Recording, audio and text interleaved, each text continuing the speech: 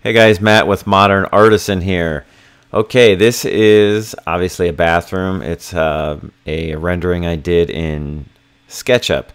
And so this is a master bathroom, uh, kind of master bathroom and closet combined.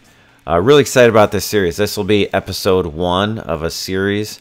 And uh, so it's a complete gut and remodel of a bathroom that's 15, 20 years old. I think it's 18 years old. And uh, we're going to do some really cool built-ins. We're going to do a really cool shower. Um, the, the drawing doesn't really do justice. It's just kind of uh, some generic cabinets that are shown in the drawing. But uh, it's going to be some really neat and complicated, tricky stuff to build. Oh, we're going to try and do these uh, custom uh, mirrors with indirect lighting um, and lots of light, lighting everywhere, lighting behind those, uh, wall grazing lights, um, curved uh, indirect lighting in the ceiling. So uh, lots of cool stuff going on, lots of creativity in the small space. But anyways, that's the the big overview of the the projects, and uh, let's just jump into episode one, get going here. Okay guys, welcome to the Modern Artisan channel. Here we are again. Uh, this should be episode one, I believe, of the, I don't know what we're going to call it, master bathroom remodel extraordinaire, whatever. Uh, so we're in the same master suite where I we added on the sunroom, we did the built-ins, we did the big cherry backdrop behind the master bed. Uh, so now we're on to the bathroom, the last and outdated portion of this. Uh, I built this like 18 years ago, and so we're excited to do a like a major refresh here. And so uh, we'll go inside and look at this. Uh, just about to get started. I took out this window in the fall. It's uh, February now, but I uh, I didn't want to do that in the winter, and I knew that that was going to have to come out. So we did that ahead of time, uh, and now we're just getting ready to start. We kind of got it all planned out. Um, the main area of the bathroom, as it is existing is pretty open and airy. It has vaulted ceilings, which is nice. But the whole rectangular space, which includes the uh, toilet and the closet, is kind of closed off. You know, so we got this little cubby for the toilet. We've got um, what is a pretty condensed, pretty compact uh, closet that kind of wraps around that bathroom. So the idea is we want to open this up, which means we're going to tear out those walls. Uh, and then there's going to be a built-in like a double shower in, in, the back corner there, which will kind of be the focus of the bathroom. It'll be uh, surrounded in glass. The tub will be inside uh, with the with the two shower heads. Uh, the toilet will be tucked away, but it won't have its own room anymore. And uh, and we're gonna do some really cool built-ins and uh, kind of hide all the junk. And so it should end up being uh, a pretty cool, modern, but really open feeling bathroom. Um, the footprint isn't huge for this whole thing, so we're trying to be really, really efficient on the space. so uh, yeah, we're gonna, uh, these are uh, scissor trusses here, so one of the main things I gotta figure out is uh, these trusses bear on this wall that I wanna tear out. So we're gonna have to stick a beam in there. And so uh, what we're gonna start with today is uh, we're gonna move our junk out of the closet and get that completely cleared out and then I can start doing some of the dusty work. We're gonna cut into walls and ceilings and and uh, and just look at exactly what we need to do there to support those trusses. Uh, the fixtures we're gonna leave operational for now. Um, so it's gonna be a work in progress, but the bathroom will be halfway usable. Uh, and so we just, I just need to get into those walls to kind of complete the planning stage. So uh, we'll shoot some video here. I'll keep you updated on the progress and we're gonna have some fun with it. Okay, this is kind of like moving, so it sucks. But uh, actually, I would recommend um, doing this once in a while. We hadn't done it in 18 years. So got all the junk out of there, and now onto the empty closet. All right, I need to tear out the uh, wall surrounding the toilet. And I want to tear off the sheetrock uh, behind that sheetrock on this wall that I got to put a header in. I want to see what that looks like in there. Um, I'm not going to tear that wall out yet because we want to leave the shower as long as possible. Thank you.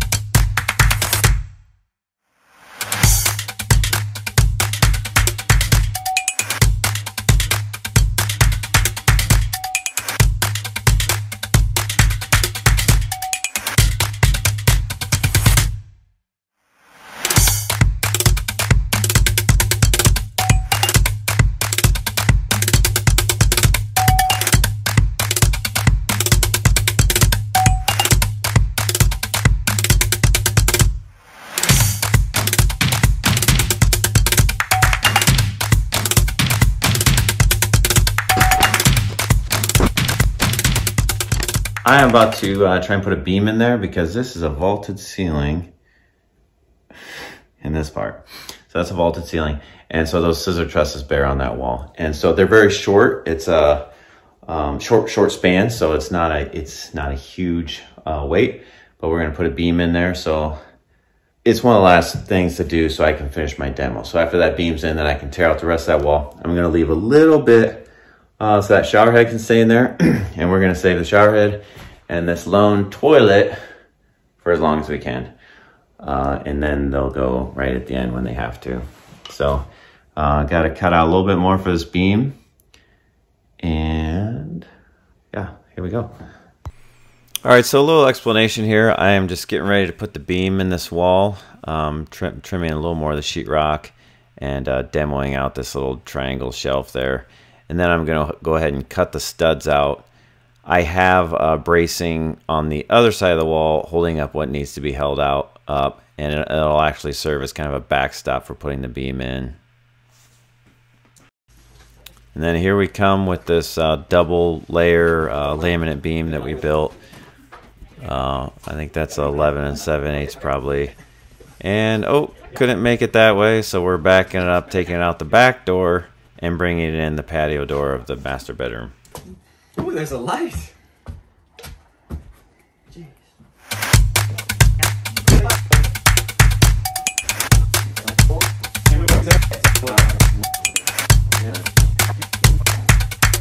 Now, what you can't see, and I never really showed, I don't think very well, is um, there is a a column built into the wall on either side that this this bears on.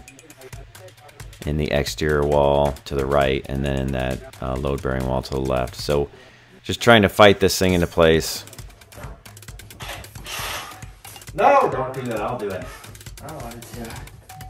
Okay, we just got the beam in here. We didn't try it yet and we didn't have to just cut out something we didn't expect. We're ready to go. Everything is going just as planned. Okay, places, action.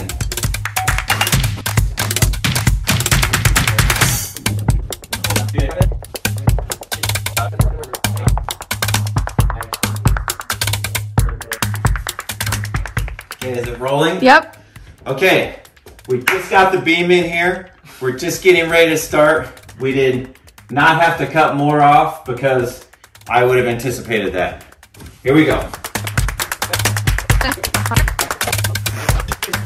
Okay, so we just got the beam in place. We did not have to cut out three things and then cut another board. I did not get totally sweaty and tired already. Okay, so let's see if this thing fits. It's gonna be really tight. What? Okay.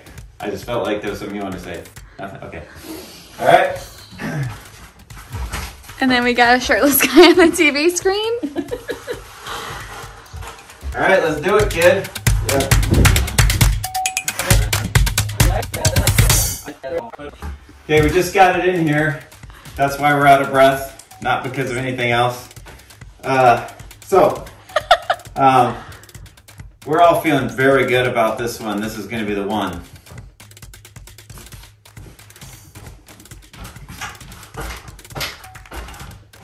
Cue the music. I'm on the ledge. You are? Yeah, I can come my way. Are you on? I...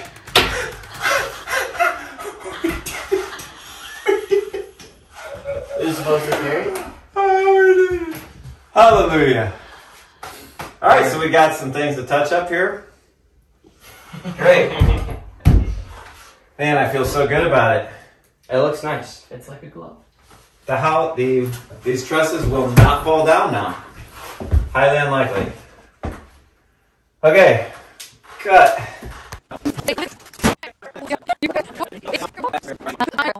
Eighteen years later, you'd be Here I am again. taking it apart. So is your toilet gonna stay in the same spot? No. So you can just move that. Oh yeah, you can move anything. Turns out. Okay, on to probably the most fun part of this video is actually framing that oval uh, indirect lighting there uh, above the shower. So here's how I did it. So I decided to make a template out of plywood and then somewhere along the line I decided to just use that piece of plywood as part of the soffit.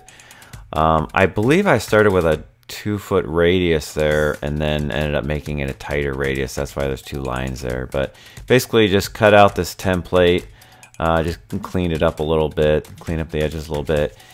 And so, uh, so the method I'm using here with this metal drywall grid is just notching it as often as necessary to snake it around the bend. So it's just a ton of cutting, and uh, and so I got I got to do that a few times. So there's a top and a bottom to this thing. You'll see how it comes together here, but just a ton of cutting.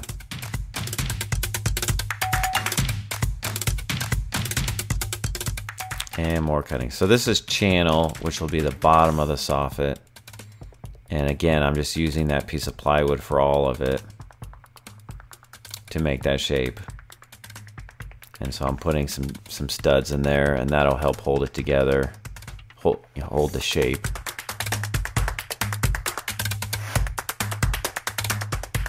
And also give us something to screw the sheetrock to.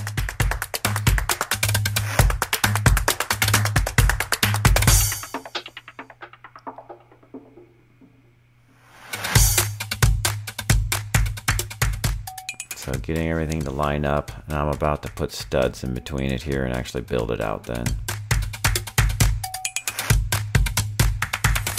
So what I'm building here is the center ellipse, center oval, or whatever of this indirect lighting. And, uh, and I'm going to build the outside out of wood. And you'll see how I kind of um, extend that light cove underneath it.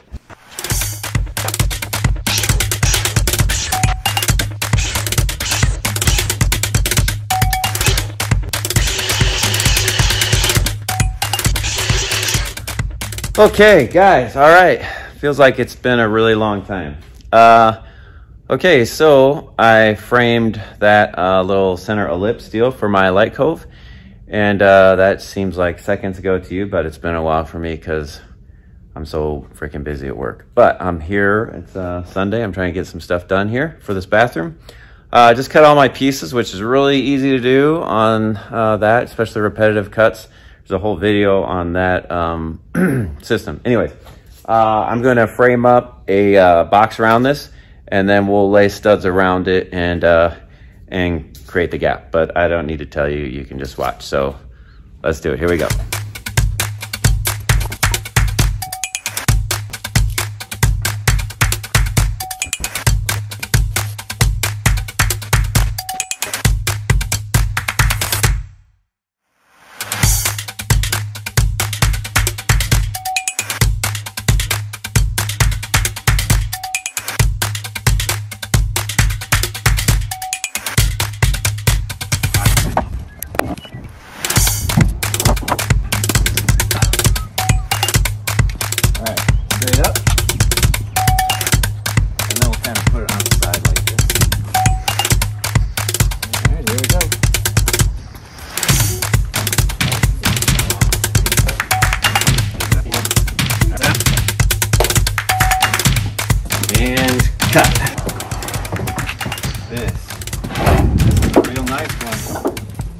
You don't see one of these every day.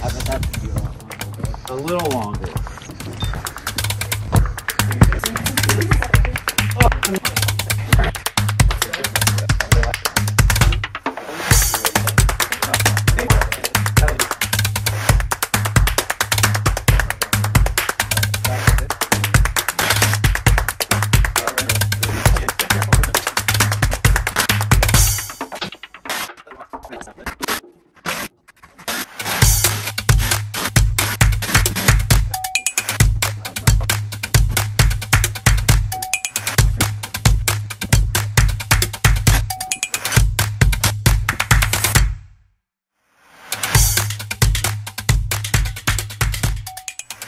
So there's going to be a uh, like a two inch gap between that inner ellipse and the outer one. And so what I'm doing now is kind of making that perimeter of two by fours that will hold the channel. And so they're in place now at a set distance from the center.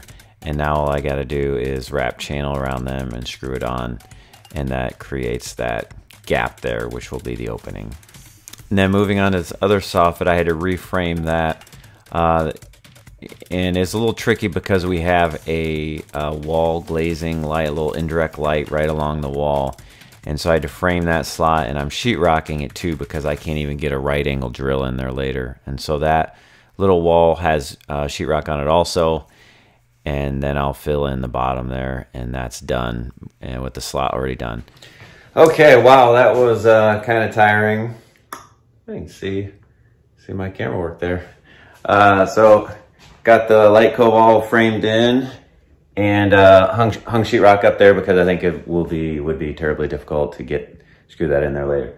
So we're uh, doing some of the work up front to uh, save us some trouble later. So soffit's all framed in. Uh, all the uh, curved soffit and light cove is done above the shower. So only thing left here is to just fill in the rest of the ceiling framing. And we're gonna do that with uh, drywall grid. I got some metal angle here. We're gonna use some uh, metal Armstrong drywall grid, uh, commercial suspended stuff. So super easy for something like this or something a lot bigger. Is what I'm used to doing it with. But uh, so yeah, here we go. Wrap up the framing.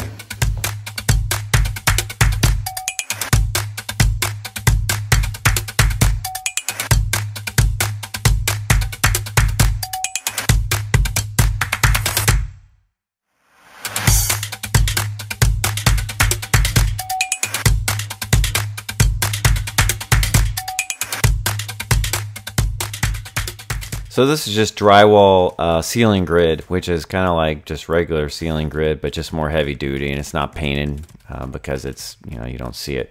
So uh, it hangs like ceiling grid for the most part. I'm hanging some wires there and putting a kicker in so it can't be pressed up.